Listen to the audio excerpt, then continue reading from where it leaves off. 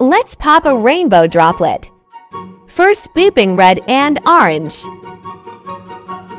Boop. Now heading over to green. Yay, we made it.